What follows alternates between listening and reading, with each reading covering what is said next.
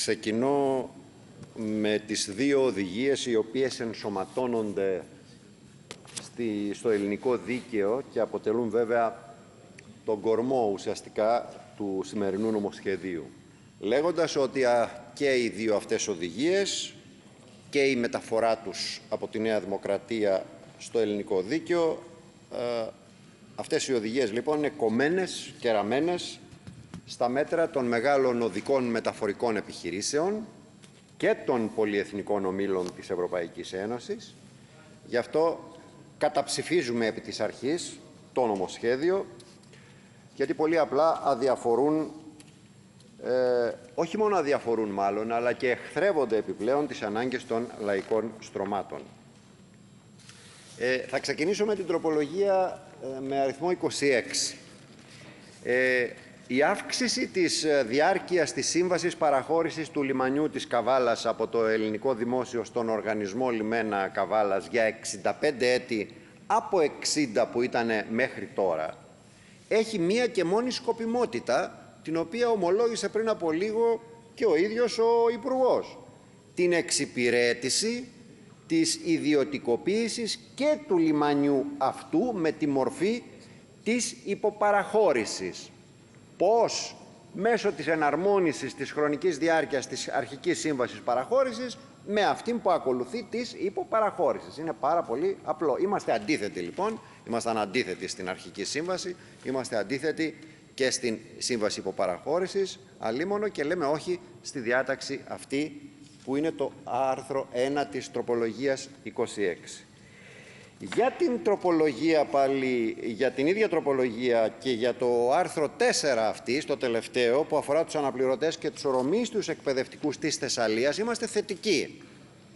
Και αν ερχόταν, θέλουμε να το πούμε εδώ, αν ερχόταν μόνη της θα την ψηφίζαμε. Έρχεται όμως ως τμήμα μιας ενιαίας τροπολογίας, τεσσάρων ετερόκλητων μεταξύ τους διατάξεων, για την οποία βεβαίως συνολικά τροπολογία αυτή θα ψηφίσουμε παρόν. Ε, για την οικονομική ενίσχυση των πλημμυροπαθών της ε, Θεσσαλίας που είναι το άρθρο 3 της ίδιας ε, τροπολογίας.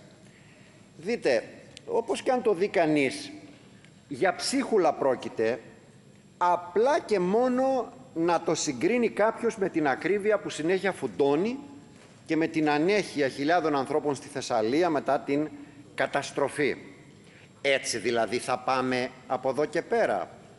Και πώς θα ζήσουν οι άνθρωποι αυτοί; Πώς θα βγάλουν το χειμώνα; Με τέτοια μέτρα; Σπίτια χρειάζονται κύριοι της κυβέρνησης. Σπίτια χρειάζονται όσοι είδαν το σπίτι τους να καταστρέφεται και αυτά τα σπίτια να νοικιαστούν με πλήρη κάλυψη του κράτους.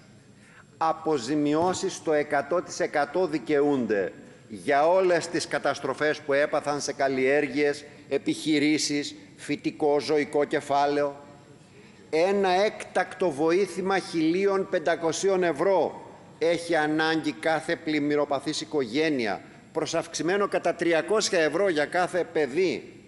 Μια ουσιαστική οικονομική στήριξη χρειάζονται, άμεσα μάλιστα. Όσοι εργαζόμενοι χάσαν τη δουλειά τους και όσοι επαγγελματίες έπαθαν ζημιές. Και βεβαίως ένα εξάμεινο πάγωμα οφειλών σε, σε, σε εφορίες, τράπεζες και ταμεία. Αυτά είναι τα ελάχιστα από τα μέτρα που απαιτούνται, τα ελάχιστα μέτρα ανακούφισης αυτών των ανθρώπων, ιδιαίτερα μπροστά στο δύσκολο χειμώνα που έρχεται. Τώρα, και κλείνοντας, τι ήταν αυτό τώρα, ζήσαμε να το ακούσουμε και αυτό από την κυβέρνηση, από Υπουργό της Νέας Δημοκρατίας, ότι λέει το ΚΚΕ βοηθάει τα κέρδη των εργολάβων. Εντάξει, προσπερνώ τη φεδρότητα του ισχυρισμού και αυτό που θέλω να σας πω είναι το εξής. Κοιτάξτε, ο ρόλος της εξυπηρέτησης των συμφερόντων και των κερδών των εργολάβων είναι δικό σας. Όχι αποκλειστικά βέβαια, τον μοιράζεστε με τα υπόλοιπα αστικά κόμματα. Αυτή τη στιγμή αυτόν τον ρόλο όμως τον κεντρικό τον παίζετε εσείς και το αποδεικνύετε κάθε μέρα με την πολιτική σας και με το νομοσχέδιο το οποίο συζητάμε. Τώρα, και για να μην ανησυχείτε βέβαια, αυτόν τον ρόλο, το ρόλο του υπηρέτη δηλαδή των αστικών συμφερόντων και των εργολαβικών κερδών, ούτε τον διεκδικεί το ΚΚΕ, ούτε μας ενδιαφέρει. Είναι ολόδικό σας αυτός ο ρόλος. Αντίθετα, το ρόλο αυτόν εμείς και τον αντιμαχόμαστε και τον αντιπαλεύουμε παντού και πάντα. Όμως ακούστε, για να μιλήσουμε για την ουσία του ζητήματος, μην εκβιάζετε έτσι με τον τρόπο αυτό το λαό της Θεσσαλονίκης με τις ρήτρες μιας σύμβασης για το flyover στον περιφερειακό της πόλης, μιας σύμβασης που εσείς υπογράψατε με τον εργολάβο. Δεν, τον, δεν την υπογράψαμε εμείς αυτή τη σύμβαση. Εσείς την υπογράψατε.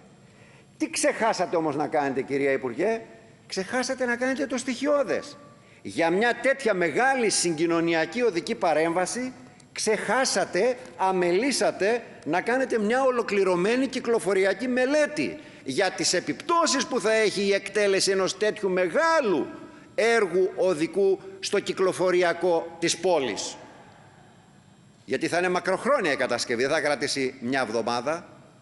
Γι' αυτό λοιπόν σας αγκαλούμε, γι' αυτό σας λέμε ακόμα και τώρα να μην προχωρήσετε προτού ομαλοποιηθεί η συγκοινωνία, η κυκλοφορία αυτής της πόλης με τα μέσα μαζικής μεταφοράς, γιατί αυτή τη στιγμή δεν θα ήταν υπερβολή να πει κανείς ότι στη, στη Θεσσαλονίκη υπάρχει, υπάρχουν ελάχιστα μέσα μαζικής μεταφοράς για τις ανάγκες ενός εκατομμυρίου και πλέον ανθρώπων.